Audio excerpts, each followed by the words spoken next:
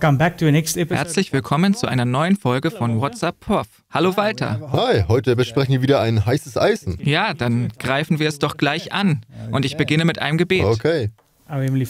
Unser himmlischer Vater, danke, dass du uns wieder zusammengeführt hast. Wir bitten dich um Segen für unser Gespräch. Wir bitten dich, dass der Heilige Geist unseren Verstand erleuchte, damit wir noch über die Dinge nachdenken, über die wir nach deinem Willen nachdenken sollen. In Jesu Namen. Amen. Amen.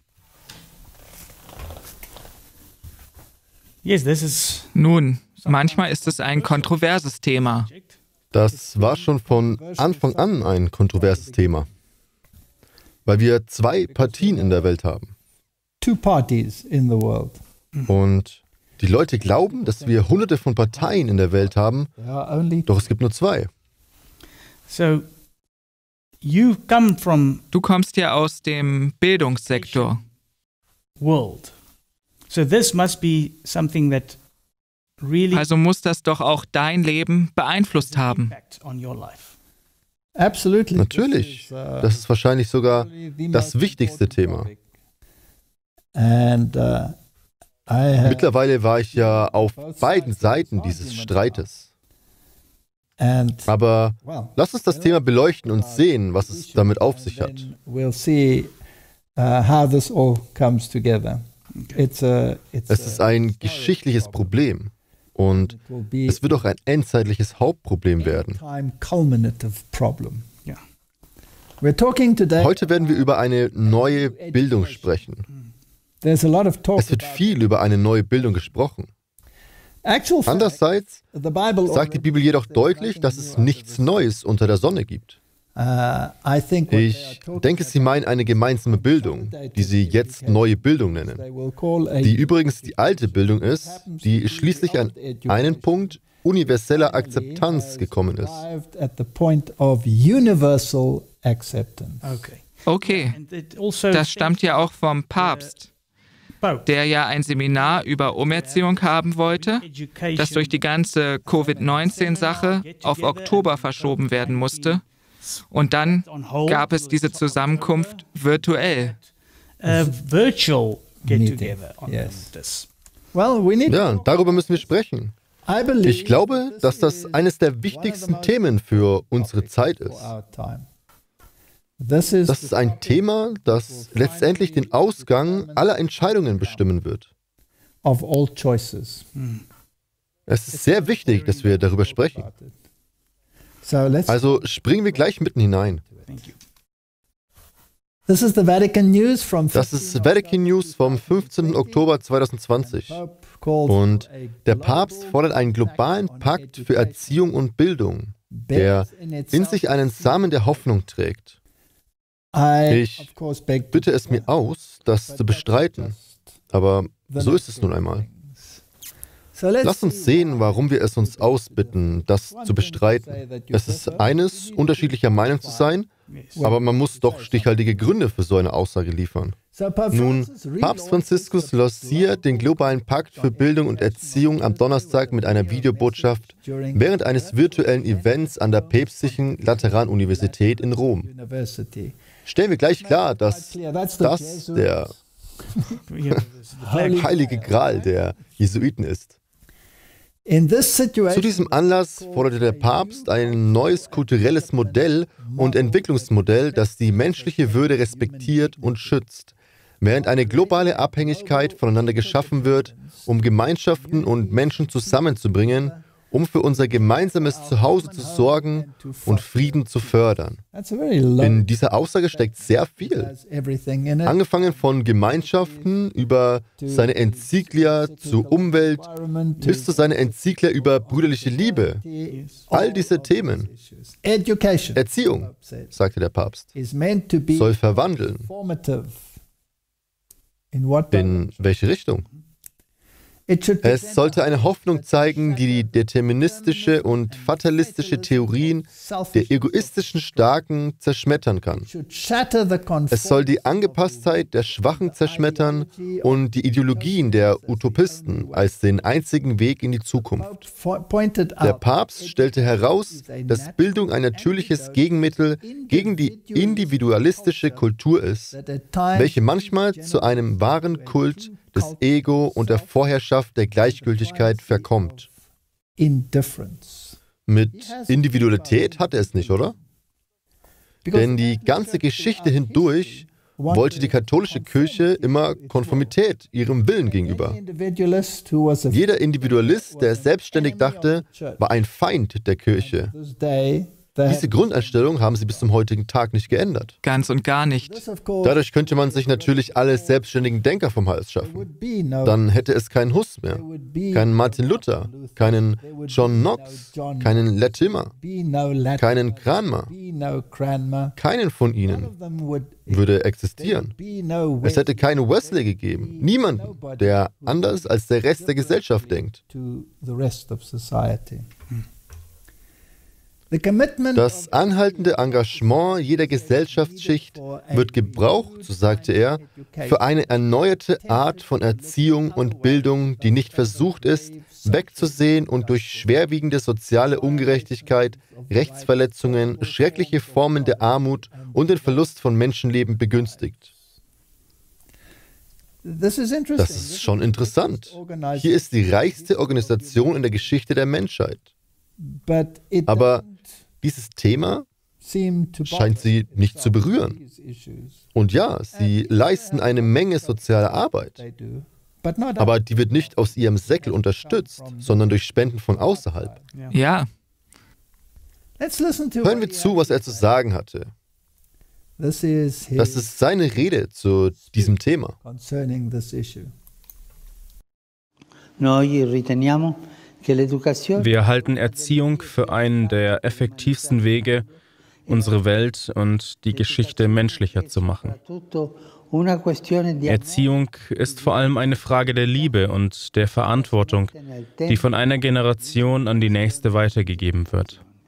Damit ist Erziehung ein natürliches Gegenmittel gegen die individualistische Kultur, die manchmal zu einem wahren Kult des Egos und der Vorherrschaft der Gleichgültigkeit verkommt.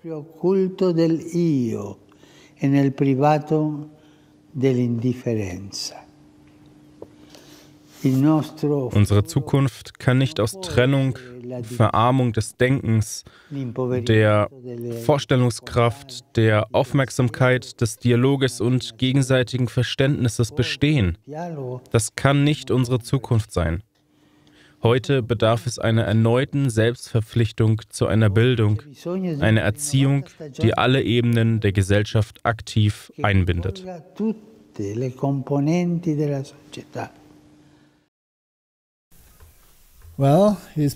Nun, er macht es ziemlich deutlich, dass Individualismus sein Feind ist.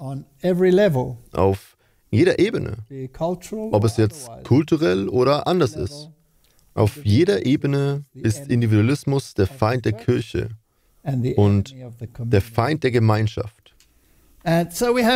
Und so müssen wir gleichförmig uniform sein. Wenn man nur einmal die jesuitischen Reduktionen in Südamerika betrachtet, dort wurden indianische Arbeitskräfte eingesetzt und in diesen Reduktionen organisiert. Das war das Modell für den Kommunismus. Da sieht man dann die Frucht dieser Denkweise. Jeder ist gleich und es herrscht nur Elend, weil es deine Freiheit beschneidet. Now, Betrachten wir uns nun die Geschichte, woher das alles kam und warum es diesen Kampf der Vorstellungen gibt. Hier ist ein interessanter Artikel, der in veröffentlichten Schriften der Universität von Arizona erschien. Es ist überschrieben, Martin Luther war ein Anwalt der Bildungsreform. Also rief Martin Luther nach einer neuen Bildung. Ja. Interessant, oder? Das ist wirklich interessant. Was war denn an der alten Erziehung verkehrt? Und stellen wir eines von wir klar, in wessen Hand lag die alte Erziehung? In der Hand der römisch-katholischen Kirche. Ganz genau. Also Martin Luther vertrat eine neue Erziehung. Dieser Artikel wurde 2017 verfasst. In seinem Unterfangen, Christen dabei zu helfen, die Schrift selbst zu lesen und zu verstehen, befürwortete Luther eine Schulpflicht für alle. Seine Ansichten zur Bildung werden im Rahmen der Vortragsreihe Frühe Bücher am 11. April in der Universität von Arizona besprochen. Zu einer Zeit, als Schule nur auf die Söhne der Wohlhabenden begrenzt war, propagierte Luther eine Bildungspflicht für alle. Sein Hauptgrund, Bildung war notwendig, damit Christen die Schrift selbst lesen und verstehen konnten. Die Bass war also sola scriptura. Das war sein einziger Grund für eine Schulpflicht. Ihm ging es vorrangig um Lesen und Schreiben. Damit die Menschen ihre Bibel verstehen konnten. Genau. Luther war entschlossen, die Kontrolle der Schulen der römisch-katholischen Kirche abzubringen. Also hatte er ein Problem mit ihnen, nicht wahr? Einer der Gründe, warum Luther sich an die Stadtväter wendete, ist sein Wunsch, dass sie die Hauptverantwortung für Bildung übernehmen und sie den Geistlichen der Stadt entziehen. In jener Zeit wurden alle Schulen von der Kirche geführt. Geschichtlich waren alle Universitäten der Welt nur kirchliche Institutionen. Ja, das ist ein Originaldokument, das er an die Herrscher schrieb.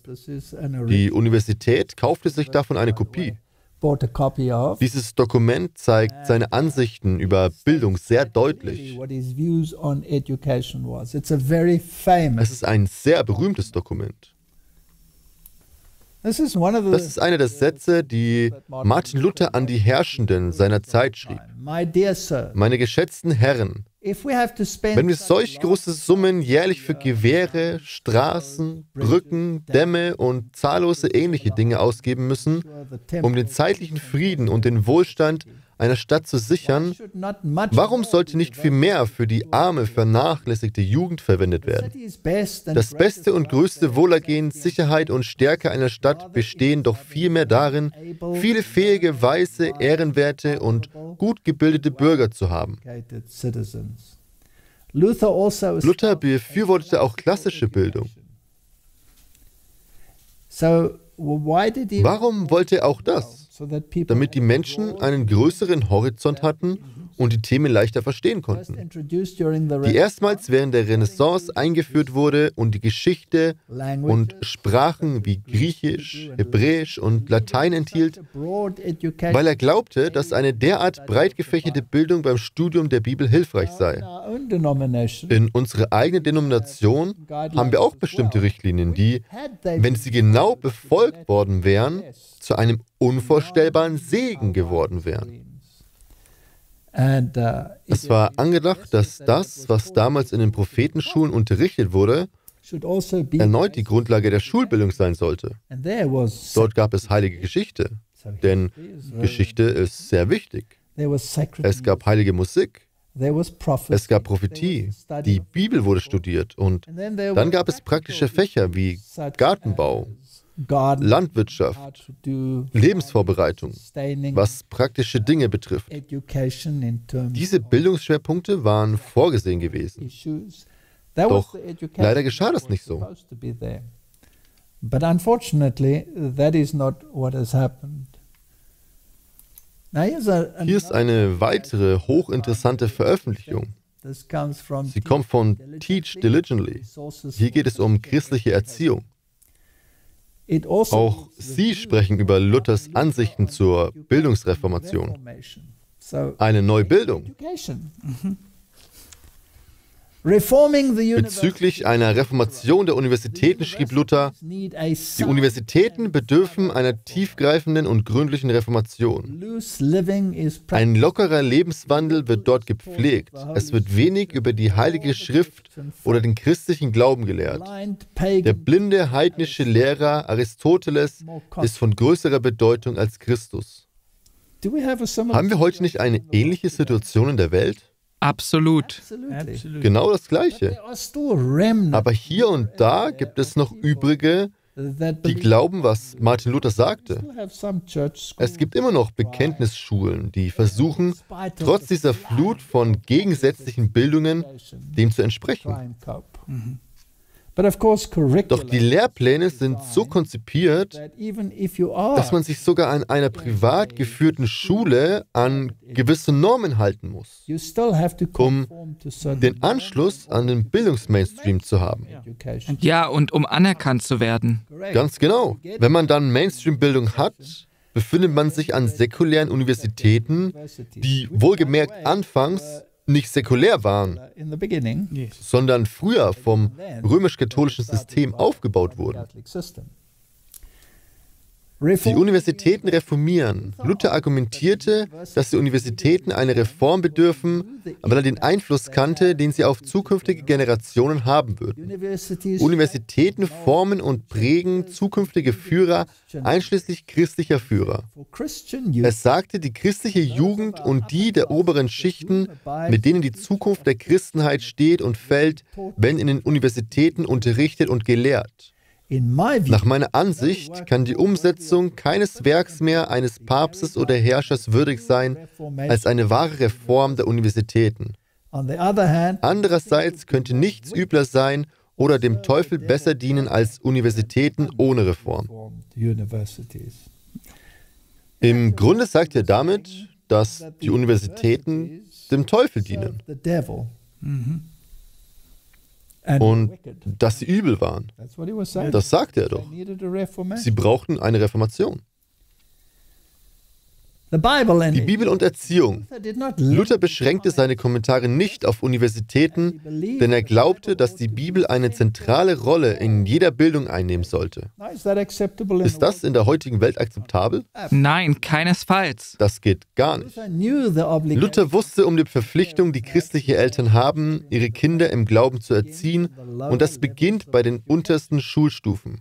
Er schrieb, vor allem anderen sollte der wichtigste und verbreiteste Lehrgegenstand sowohl an Universitäten als auch in unteren Schulen die Heilige Schrift betreffen.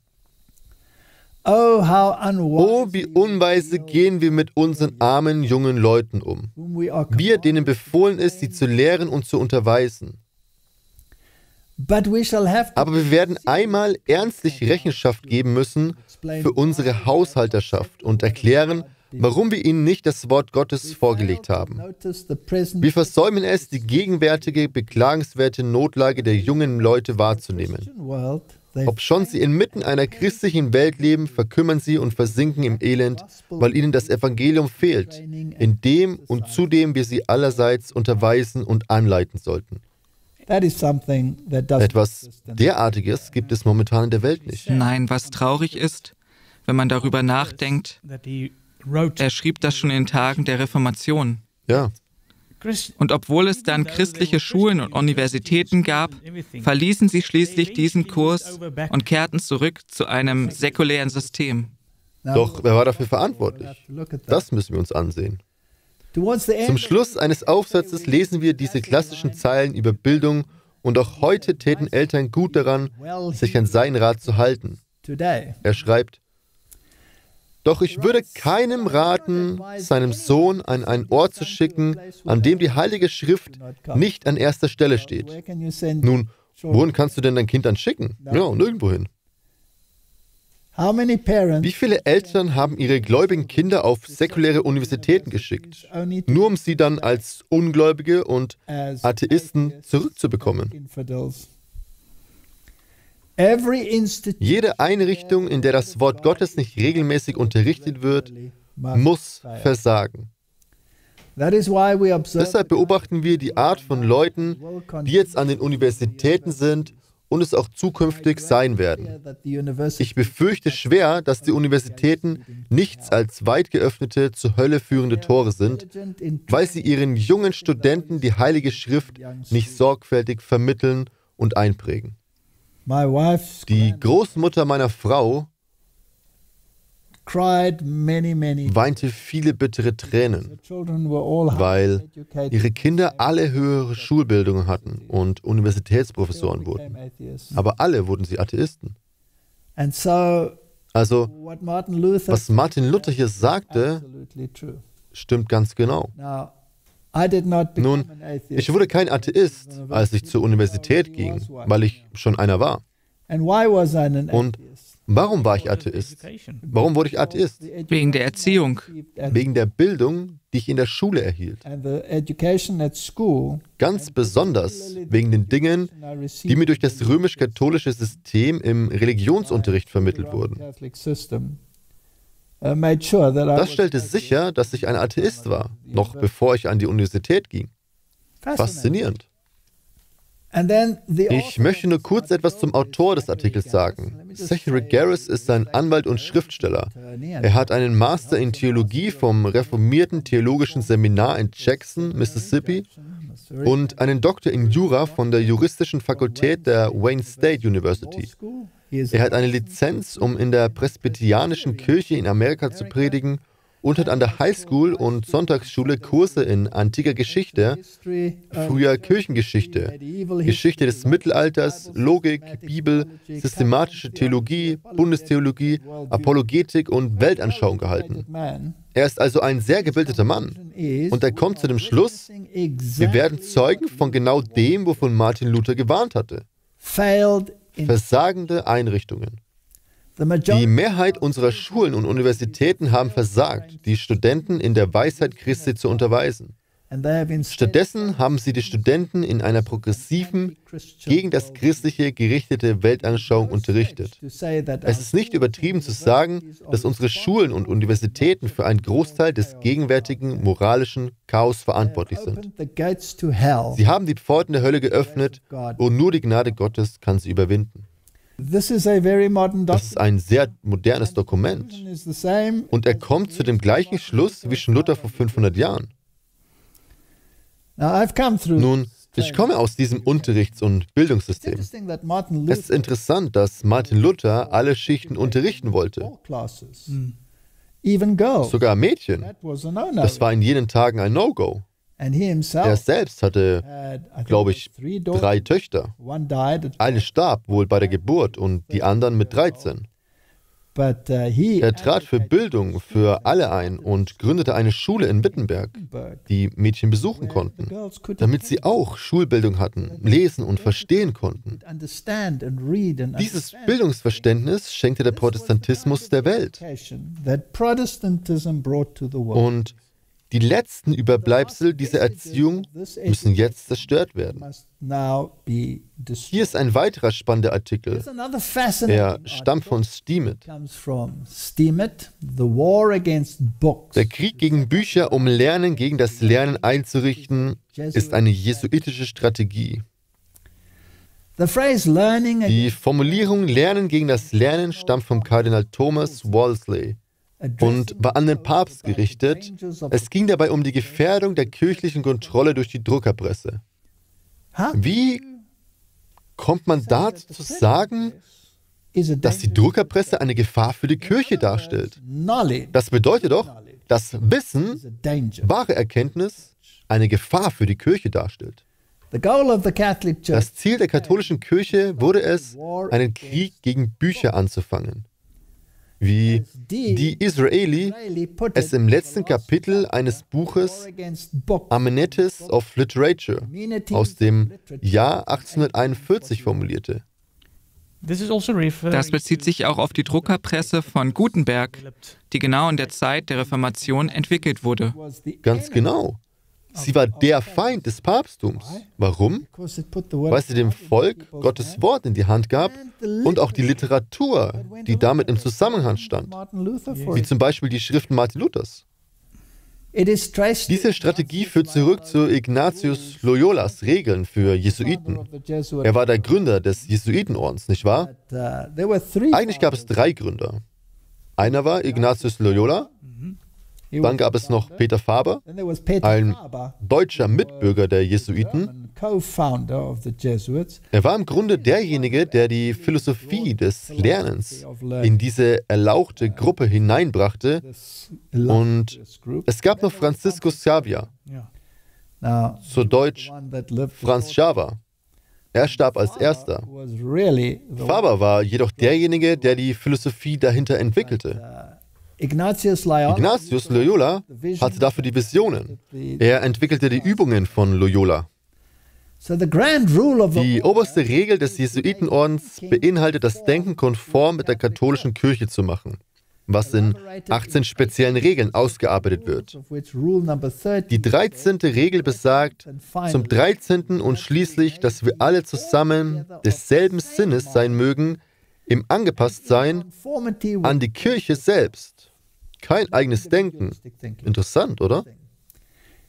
Falls sie festlegen wird, dass etwas schwarz ist, was unseren Augen weiß erscheint, sollten wir es genauso zu weiß erklären. Der 13. Autograph, damit wir in allen Dingen der Wahrheit anhängen, damit wir in nichts irregehen, sollen wir immer daran festhalten als fixes Prinzip, damit ich von dem, was ich als weiß sehe, doch glaube, dass es schwarz ist, wenn die Kirchenhierarchie es so definiert. Das ist aus den geistlichen Übungen von Ignatius von Loyola 1541. Ich bringe es nicht über mich zu sagen des Heiligen, aber hier steht es so. Unglaublich.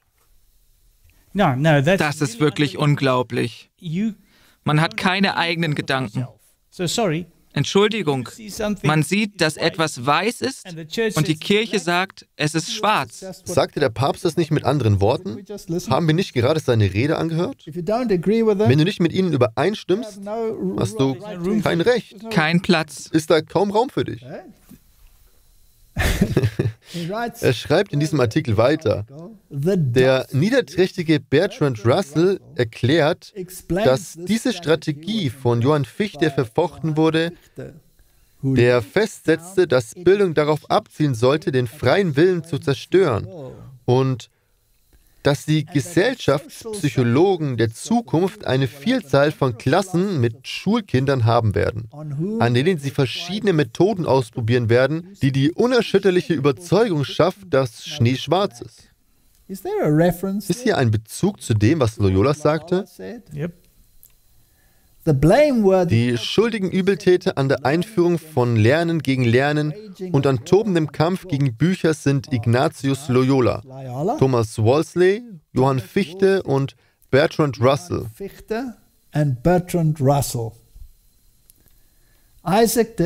Isaac Disraeli Kampf gegen die Jesuiten verdient Anerkennung. Hier sind die Quellen für sein Artikel. Das ist keine Verschwörungstheorie. Das ist eine geschichtliche Tatsache.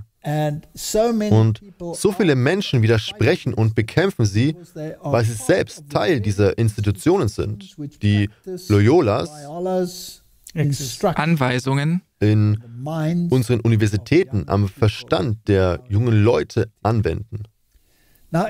Stimmt es, dass unsere Universitäten das tun? Ich habe darin einige eigene Erfahrungen. Ich war an einer der größten Universitäten unseres Landes und unterrichtete dort. Ich war Atheist und ich unterrichtete Evolution. Es gab an dieser Universität auch eine theologische Fakultät. Aber sie konnten dem, was die Evolutionisten sagten, nichts entgegensetzen. Und das ist bis heute so. Wenn man das Radio anmacht, gibt es Programme, in denen meine ehemaligen Kollegen die Tugenden der Evolution verkünden. Und auch die Ignoranz und Dummheit derer, die der Bibel glauben. Ich habe einmal an einem ähm, interessanten Treffen teilgenommen Dort hat einer der bedeutendsten Kanäle der Welt, das sind okkulte Kanäle, mich darüber informiert, dass die Universitäten durch genau diese Okkulisten in Okkultismus unterwiesen werden. Wir sprechen jetzt einmal über die theologischen Seminare.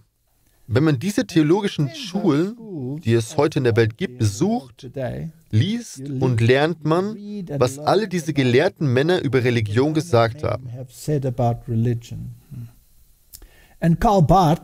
Und Karl Barth wird wichtiger als das Wort Gottes. In den meisten Seminaren gibt es kein wirkliches Studium des göttlichen Wortes. Keiner verlässt eine dieser Schulen und weiß, worum es im Buch Daniel geht.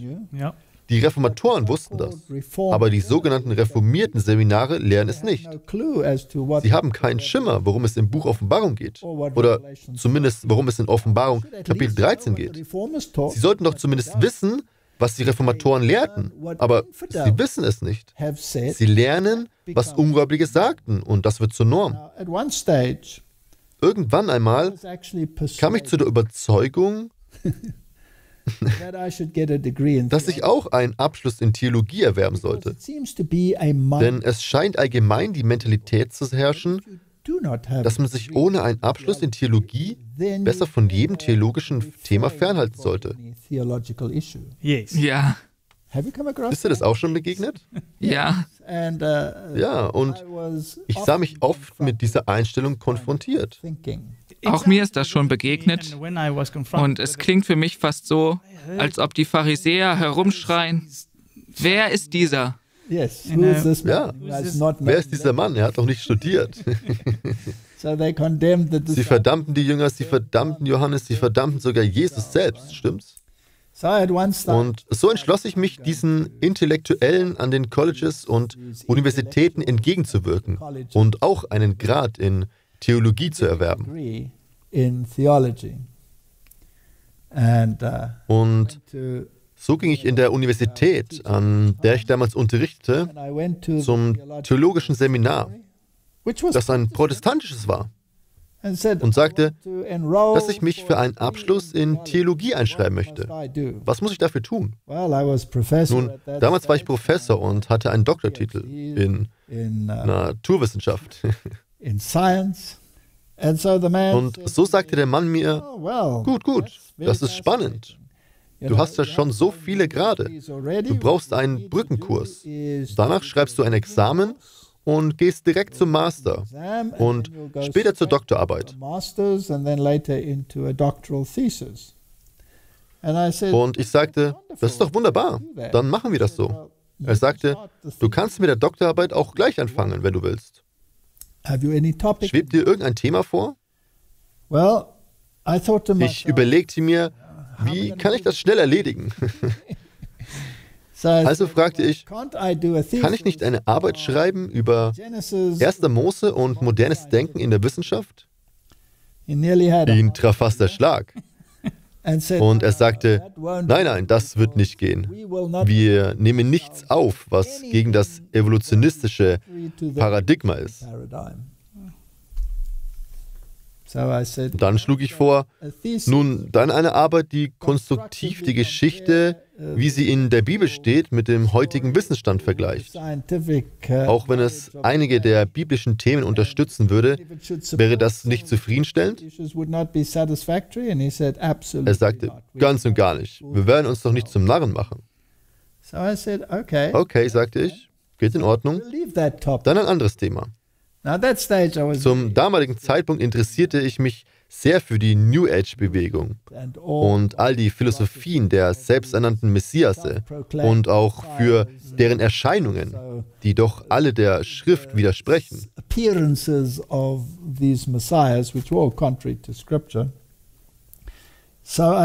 So schlug ich eine Arbeit vor über die biblischen Kriterien für einen biblischen Messias im Gegensatz zu denen, die in der Welt auftauchen. Das ist ein sehr weites Feld.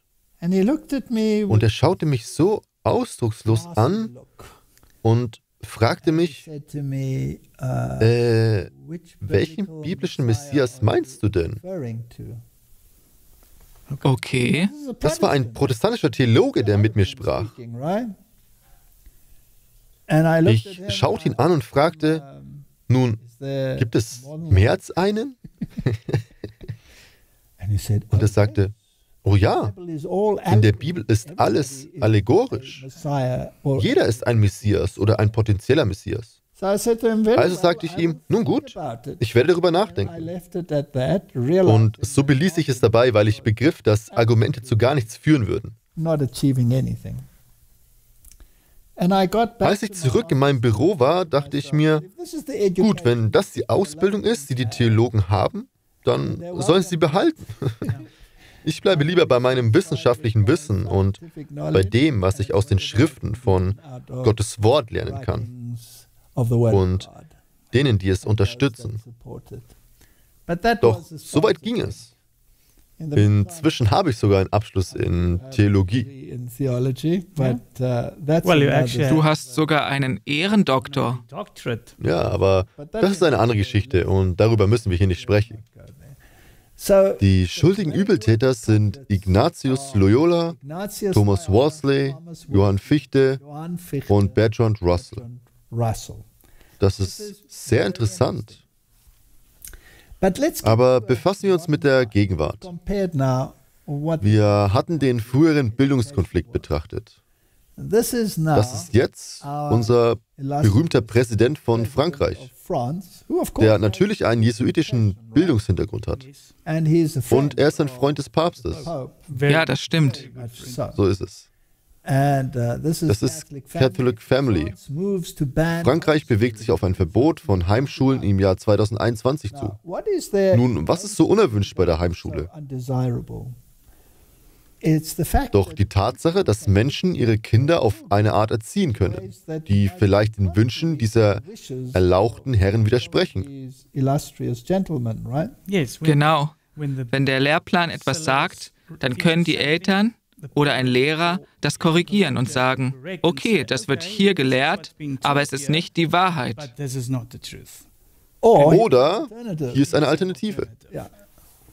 Der französische Präsident Emmanuel Macron gab am Freitagmorgen bekannt, dass er vorhat, Heimschule für alle Kinder per Gesetz zu verbieten, außer bei denjenigen, wo eine gesundheitliche Beeinträchtigung ein Fernbleiben von der Schule rechtfertigt.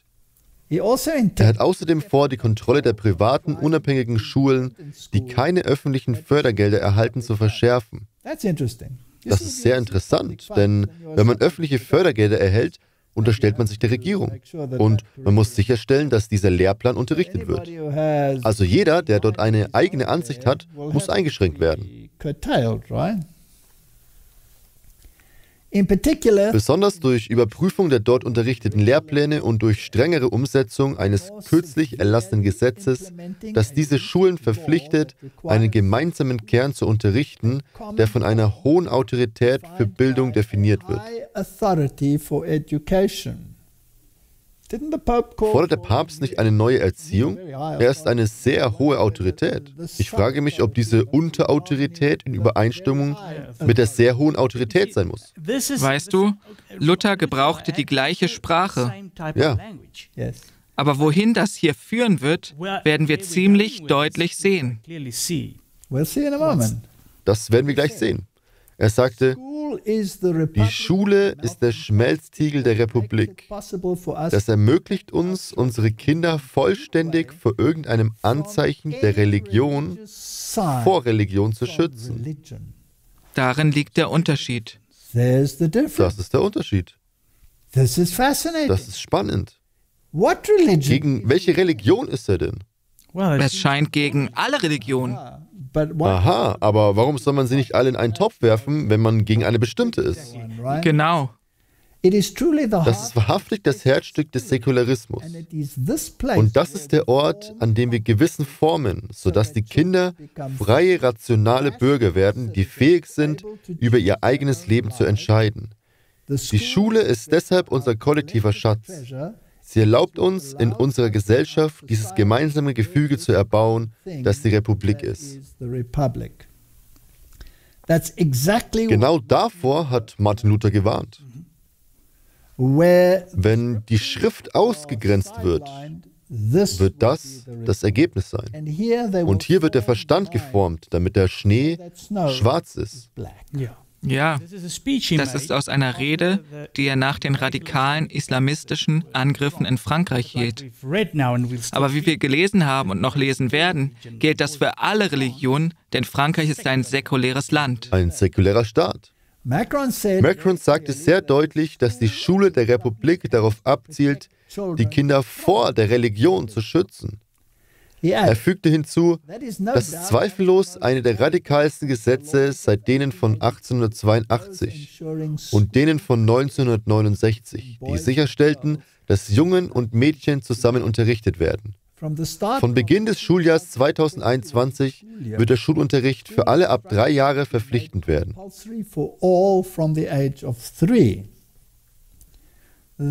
Das nimmt den Einfluss der Eltern weg. Completely. Und zwar komplett. Homeschooling Heimschule wird streng begrenzt, vor allem wegen gesundheitlicher Gründe. Wir wechseln damit unser Paradigma und es ist notwendig. Er sagte gleichermaßen, die Republik wurde um die Schule herum gebaut, die mehr als Individuen unterrichtet. Sie erzieht Bürger, sie formt freies Denken. Darum bin ich überzeugt, dass die Republik jenen durch die Schule widerstehen wird, die die Republik bekämpfen oder zerteilen wollen. Durch die Schulen werden wir alle unsere Kinder ermöglichen, Zugang zu Wissen, Kultur und einer republikanischen bürgerlichen Gesinnung zu erhalten, damit sie vollständig zu Bürgerinnen und Bürgern werden. Das heißt, der Verstand muss an das angepasst werden, was die Vorgabe des Staates ist was wiederum von einer höheren Autorität entschieden wird, die in Rom sitzt. Ja, das hört sich jetzt säkulär an. Aber Rom akzeptiert Säkularismus. Nun, es ist sehr nützlich, eine radikale Religion zu gebrauchen, um sich schließlich alle Religionen vom Hals zu schaffen. Ja. Und den Eltern das Recht wegzunehmen, Werte und Normen in das Denken ihrer Kinder einzupflanzen. Hier haben wir eine Liste von einigen Ländern, in denen Heimschule schon illegal ist. Man kann sehen, dass die Liste sehr lang ist. Deutschland, Griechenland, Ungarn, Montenegro, Niederlande, Armenien, Aserbaidschan, Georgien. Die Liste ist ziemlich lang, wir müssen sie nicht durchgehen. Es schließt islamische Länder ein, wie die Türkei oder Deutschland das ein christliches, protestantisch-katholisches Land ist. Und wenn wir alle Religionen da hineinwerfen könnten, wäre das sehr praktisch. Nun, dieses Buch, Rulers of Evil, ist ein Buch, das jeder irgendwann lesen sollte. Ein sehr interessantes Buch. In diesem Buch spricht der Autor von Rulers of Evil über die Macht des Jesuitenordens. Sie sind die Spitze derer, die heutzutage über die Gesellschaft herrschen. Mit Bezug auf die Jesuiten schreibt er, Ihr Haupt würde ein Generaloberst sein, in den Constitutions, also Gründungssatzungen, die Ignatius verfasste, sollte diesem Generaloberer jederzeit gehorcht und Ehrerbietung dargebracht werden, wie dem, der die Stelle von Christus, unseren Herrn, einnimmt. Der Ausdruck die Stelle von Christus bedeutet, dass der Generaloberer sich mit dem Papst zusammen von der allgemeinen Öffentlichkeit unbemerkt den göttlichen Titel eines Stellvertreters Christi teilen würde der zuerst von Gelasius I. am 13. Mai 495 beansprucht wurde. Loyolas vollständige Konstitutionen wiederholen 500 Mal, dass man Christus in der Person des Generaloberen sehen soll. So funktionieren sie und man muss vollständig gehorchen. Dann enthält das Buch noch den jesuitischen Schwur. Nur so aus Interesse. Die Jesuiten wurden schließlich die Schulmeister Europas. Okay. Also Und sie leiteten auch das Konzil von Trient. So wie sie das Zweite Vatikanische Konzil leiteten. Ja. Oberflächlich betrachtet wirkt das Zweite Vatikanische Konzil wie ein Gegensatz zum Konzil von Trient. Doch im Grunde ist es das Allergleiche. Nur sehr gut ausgedacht. Der Großteil des 18 Jahre andauernden Konzils zu Trient bestand aus zwei Unterbrechungen von jeweils vier und zehn Jahren. Zu Beginn der zweiten Unterbrechung gründete Ignatius in Rom ein besonderes Seminar für deutsch sprechende Jesuiten, das Germanicum hieß. Interessant.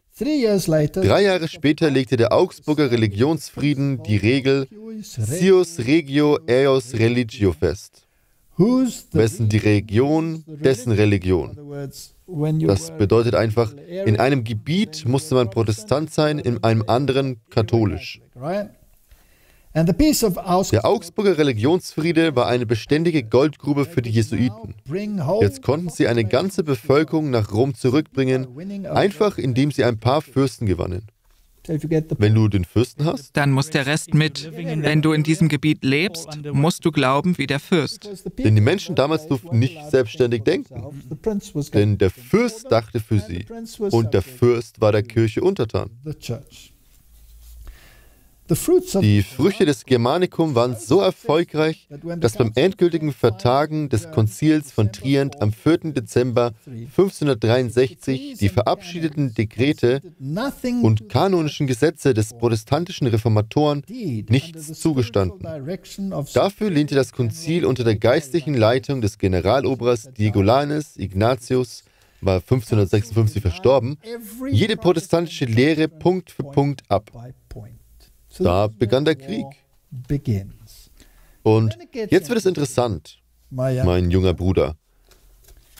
Denn es heißt hier, es war unvermeidlich, das steht auf Seite 65, dass das Konzil zu Trient die Jesuiten als Schulmeister Europas einsetzen würden mit Geld aus der königlichen Familie und der Wirtschaft und nicht einem Pfennig von der Kirche. Tja. Sie nehmen es alles von der Gesellschaft. So arbeiten sie bis heute. Also diese reiche Organisation, die in Schätzen und Gold schwimmt, jenseits aller Vorstellungskraft, spricht immer von den Armen. Aber sie beutet die Armen aus, um den Armen angeblich zu helfen baut die Gesellschaft Jesu ein ausgedehntes System von Schulen und Hochschulen. Es wurde keine Gebühr erhoben, doch jeder potenzielle Student wurde sorgfältig betrachtet, um zu sehen, ob er Fähigkeiten hätte, die die Gesellschaft brauchen könnte. Mit der Gründung der ersten jesuitischen Schule in Coimbra, Portugal, durch Katharina, die jüngste Schwester des Kaisers, dann verweist es auf das romantische Interesse Loyolas an diesem bestimmten Mitglied des Königshauses, wurde die vorrangige Beschäftigung der Jesuiten das Unterrichten. Bis 1556 widmeten sich drei Viertel der Mitglieder der Gesellschaft in 46 jesuitischen Kollegien dem Lernen gegen das Lernen um den Verstand mit dem Lernen von erleuchteten Humanismus zu indoktrinieren, anstatt mit dem Lernen der Heiligen Schrift. Darum verfasste Martin Luther seine Reden. Darum sagte er, dass die Universitäten und Schulen Güllegruben sind. Ja, und warum eine Bildungsreform notwendig war. Ganz genau. Dieses Netzwerk wuchs 1749 auf 669 höhere Schulen. 176 Seminare, 61 Studentenhäuser und 24 Universitäten an, die entweder teilweise oder ganz unter jesuitischer Leitung standen. So gingen sie vor. Und dann dieser traurige Satz. Viele protestantische Familien schickten ihre Söhne auf jesuitische Schulen. Trotz Martin Luthers früherer Warnung in seinem Aufruf an die herrschende Klasse, worüber wir gerade gelesen hatten, wenn Sie Ihren jungen Studenten die Heilige Schrift nicht sorgfältig vermitteln und einprägen, werden sich die Schulen als weit geöffnete Tore zur Hölle erweisen. Der Lehrplan der Jesuiten oder Ratio Studorum, Methode des Lernens, schenkte der Heiligen Schrift beachtenswerte Nichtbeachtung. Ja. Also wurde die Bibel nicht erwähnt und zwar gar nicht. Tatsache ist, wo ich unterrichtete, wenn dort die Schrift doch erwähnt wurde, dann nur, um sich darüber lustig zu machen. Und das geschah mit unseren Universitäten. Ich war dabei an einer protestantischen Universität, keine katholischen Universität. Also frage ich mich, ob und wie unsere gebildeten Leute, die an jesuitischen Institutionen gelehrt wurden, unsere gelehrten Herren, die an diesen Güllegruben des Rationalismus und sozialer Gleichheit studieren, nun wie ihr Denken überhaupt die Wahrhaftigkeit der Schrift erfassen kann. Ihr Denken wurde durch das, was sie gelernt haben, so vergiftet, dass sie in vielen Fällen disqualifiziert am Pulse stehen. Es sei denn, sie haben eine totale Transformation erfahren. Yes. Dann hat er etwas sehr Interessantes zu sagen. Der Lehrplan der jesuitischen höheren Schulen wurde im großen Maße als Grundlage der Lehrpläne in den höheren Schulen Europas allgemein übernommen, schrieb Dr. James J. Walsh, Dekan der medizinischen Fakultät der Fordham University. Außerdem sagte Dr. Walsh auf Seite 66, die Gründungsväter unserer amerikanischen Republik, das heißt die Gruppierungen von Männern, die die Unabhängigkeitserklärung entwarfen und unterzeichneten, die die Anführer in der amerikanischen Revolution waren und die die Verfassung der Vereinigten Staaten formulierten, waren in der Mehrheit an kolonialen höheren Schulen oder an entsprechend höheren Schulen im Ausland unterrichtet worden, die beinahe exakt der jesuitischen Ratio Studorium folgten. Exactly the Jesuit Ratio Studorium. Ja. Diese Tatsache wird in unseren Historien der amerikanischen Bildung weitgehend ausgelassen. Er fährt fort, eingebettet in die Ratio Studorum waren Elemente der Unterhaltung, dramatischer Gestaltung, Aufbau, Rhetorik und Redegewandtheit. Dazu kann ich noch Debattieren anfügen. Diese Kurse knüpften an die geistlichen Übungen an, um die Erfahrungsbezogenheit der katholischen Lehre gegenüber der Schrift und dem Protestantismus zu vertiefen. Also das bedeutet, dass die geistlichen Übungen von Loyola in diesen verschiedenen Bereichen verankert wurden. Ohne dass die Menschen es überhaupt wissen. Das führte zu einem Genre spektakulärer Theaterstücke, das als Jesuitentheater berühmt wurde. Theater. Es geht hier noch weiter und wird sehr interessant. Das erste Jesuitentheater wurde 1555 in Wien aufgeführt. Kannst du sehen, wie das alles in der Zeit der Reformation passiert? Ja, das ist eine Gegenreformation. Ja, das ist die Gegenreformation. Fast 40 Jahre vor dem Erscheinen von Shakespeare. Es war sofort populär und verbreitete sich schnell auf andere Gebiete Europas. Zwischen 1597 und 1773 kamen mehr als 500 jesuitische Theaterstücke allein in den niederrheinischen Gebieten auf die Bühne. Faszinierend, oder? Jakob Biedermanns Stück Synodoxus, das Punkt für Punkt Luthers Lehren widerlegt, beweist die Kraft der Unterhaltung, um eine politische Reform zu erreichen. Eine politische Reform durch Jesuitentheater. Jesuitentheater gibt es natürlich auch noch. Es ist gesund und munter und nennt sich heute Hollywood.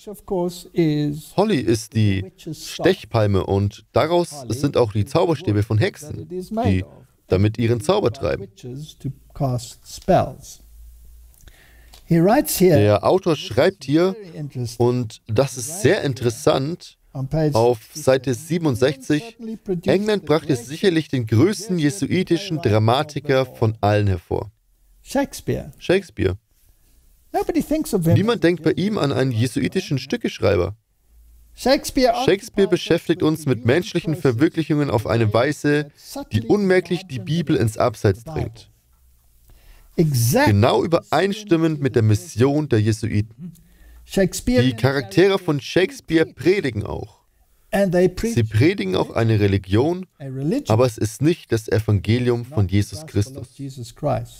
Es ist die gnostische Erleuchtung des Medici Learning, das Shakespeare predigt, der Lernstoff jesuitischer Schulen.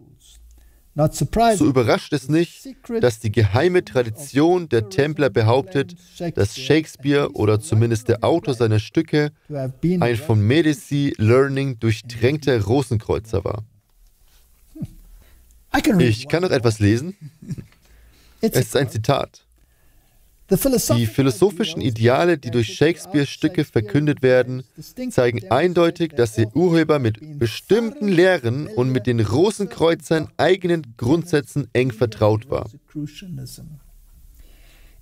Genau genommen drückten die Tiefgründigkeit der Werke seinem Urheber den Stempel eines großen Illuminaten auf. Wer außer einem Platoniker, einem Kabbalisten oder einem Pythagoreer hätte der Sturm, Macbeth, Hamlet oder Simblen schreiben können? Wer außer einem in paracelsischer Weisheit gut bewanderten Menschen hätte sich einen Sommernachtstraum ausdenken können? Das sind nun einige Gedanken aus dem Buch Rulers of Evil. Noch ein Gedanke dazu. Unterhaltung beinhaltet auch Musik. Ganz genau. Wenn wir jetzt über eine neue Bildung reden, müssen wir uns alle diese Punkte ansehen. Sie wollen jetzt auf universeller Ebene diese Konformität des Denkens einführen. So wie Macron es sagte, lasst uns genau, ganz genau darauf acht geben, was unterrichtet wird. Und lasst uns schon den jungen Verstand bekommen. Er hat nicht von Dreijährigen gesprochen. Doch, ab drei Jahre. In der katholischen Kirche gibt es den Spruch der Jesuiten, der so lautet, Gib uns ein Kind bis zum Alter von acht Jahren und ich werde es für immer haben. Das ist schon erstaunlich, oder? Sehr erstaunlich, ja. Es ist wie ein Bann oder ein Zauber. Ich kann das in meinem eigenen Leben mit meiner eigenen Erfahrung bezeugen.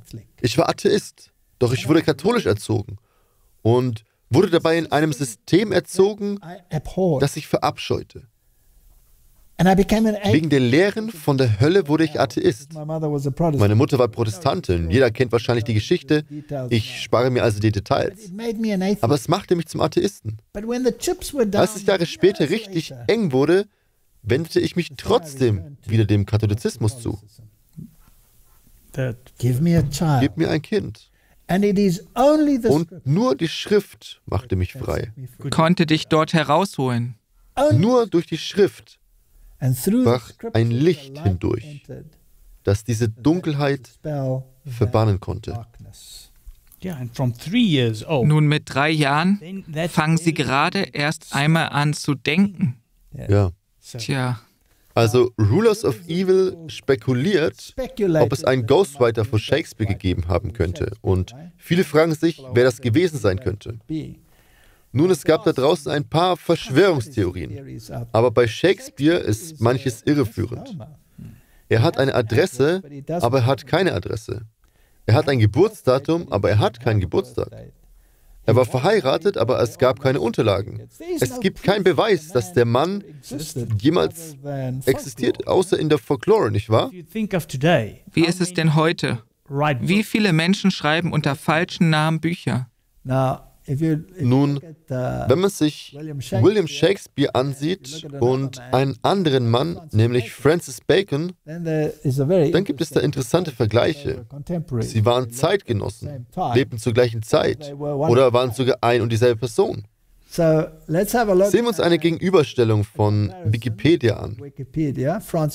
Francis Bacon, ehemaliger Lordkanzler, erster Viscount St. Alban, auch als Lord Verulam bekannt, war ein englischer Philosoph und Staatsmann, der als Generalsfiskal und Lordkanzler von England diente. Seinen Werken gebührt der Verdienst, die wissenschaftliche Methode entwickelt zu haben, die letztendlich gegenwärtig die Grundlage aller universitären Lehren ist und die auch während der wissenschaftlichen Revolution einflussreich blieb. Das sagt Wikipedia. Er wurde am 22. Januar 1561 in York House, London, im Vereinigten Königreich geboren und starb 1626 in Highgate, London, Vereinigtes Königreich. Beeinflusst von der Heiligen Schrift? Nein. Nein. Beeinflusst von Aristoteles, Plato, Niccolo Machiavelli, Roger Bacon und weitere. Ausbildung, Trinity College, Universität von Cambridge, Universität von Poitiers. Dort erhielt er seine Ausbildung. Dieser Mann war ein Philosoph, aber auf der Grundlage griechisch-gnostischer Philosophie. But based on Greek Gnostic philosophy. William Shakespeare. William Shakespeare war ein englischer Dramatiker, Dichter und Schauspieler, der allgemein als der größte englischsprachige Literat und größter Bühnenautor der Welt bekannt war. Er wird oft Englands Nationalpoet und Barde von Avon genannt. Er wurde 1564 geboren, vergleiche hier 1561 in Stratford upon Avon und starb 1616 und hier 1626. Es gibt viele, die glauben, dass dieser Rosenkreuzer Francis Bacon, der durchdrungen von Medical Learning war, wie wir in Rulers of Evil gelesen hatten, und bewandert in der Kabbalah und dem Gnozismus, ein sehr wahrscheinlicher Kandidat ist, der Ghostwriter von Shakespeares Stücken gewesen zu sein. Aber wie dem auch sein mag, das ist nur Spekulation. Doch das ist die Bildung, die die Welt wertschätzt. Nun, Martin, wir haben jetzt verglichen, was Martin Luther sagte und was die Jesuiten aus der Schulbildung in der Welt gemacht haben. Die Welt ist eine Welt voller Chaos, voller Gewalt. Und wie die Autoren, die wir gerade gelesen haben, formulierten, Güllegruben der Hölle. Und jetzt sprechen sie über eine neue Erziehung. Eine, die jeden auf Linie bringt, mit einer bestimmten Art zu denken. Der Individualismus muss verschwinden. Ein kollektives Gruppenparadigma muss umgesetzt werden und dafür haben sie ein neues Schlüsselwort geprägt. Das heißt Solidarität. Ja, Solidarität. Ich denke, wir sollten eine Fortsetzung machen, in der wir besprechen, wie sich das alles entwickeln soll. Das ist so ein wichtiges Thema. Es führt ja irgendwo hin. Wohin wird es führen? Ja, für einige mag das unerwartet kommen. Aber diese Umerziehung, von der du gesprochen hast, sie beschränkt sich nicht nur auf den Bildungssektor. Das haben wir in der Unterhaltung in allen möglichen Bereichen. Ganz genau, überall. Die Vorarbeit, das Fundament dafür wurde gelegt. Die Säulen des Protestantismus wurden umgestürzt. Die letzten Überreste protestantischer Lehre liegen blutüberströmt auf der Straße. On the streets, covered in blood. Und jetzt ist die Zeit gekommen, eine neue Bildung einzuführen, die jede Religion wegfegt, wie wir gesehen haben, und dafür diese erleuchtete gnostische Lehre, die den Kern jesuitischer Lehre bildet, lehrt. Wir haben einen jesuitischen Papst, ein jesuitisches Schulsystem in der Welt. Und die Welt ist reif für eine neue Bildung. Wir haben auch von beiden Seiten des politischen Spektrums eine starke Annäherung an den Katholizismus gesehen. Stimmt. Aber weißt du was? In der Bibel steht ein interessanter Vers. Und der Herr Jesus sagt, wehe denen, für den wäre es besser, dass ein großer Mühlstein an seinen Hals gehängt wird, der eine von diesen Kleinen, die an mich glauben, Anstoß zur Sünde gibt. Das ist eine Auseinandersetzung mit dem Gott des Universums, die ihren Höhepunkt in den letzten Ereignissen für die Menschheit auf diesem Planeten finden wird. Es gibt eine Entscheidung, die die Menschen treffen müssen, Und damit werden wir uns im zweiten Teil beschäftigen. Lass uns beten. Himmlischer Vater, wir brauchen wirklich eine neue Erziehung. Doch wie schon Salomo sagte, gibt es nichts Neues unter der Sonne. Was wahr wird wieder sein, und so wie Martin Luther eine Erziehung forderte, in der Gottes Wort eine zentrale Rolle spielt, so hoffe ich, dass auch dein Volk begreift, dass sie ihren Kindern eine neue Erziehung geben müssen, mit einem erneuten Schwerpunkt auf den Themen, die zum ewigen Leben führen. Schenke uns Weisheit in dieser Zeit großer Probleme und Not. Möge der Gott aller Weisheit und der Gott aller wahre Erziehung mit uns sein, wenn wir uns dem Höhepunkt der Weltgeschichte nähern. Das ist mein Gebet in Jesu Namen. Amen. Amen.